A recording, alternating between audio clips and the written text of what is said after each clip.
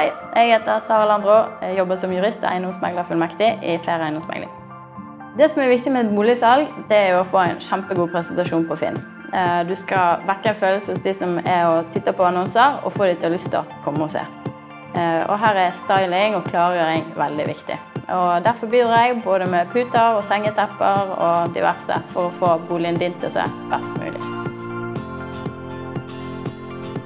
Det viktigste i livet mitt er helt klart gutten min på to og et halvt år. Familie og venner er alfa og omega, eh, og noe jeg eh, verdsetter veldig høyt.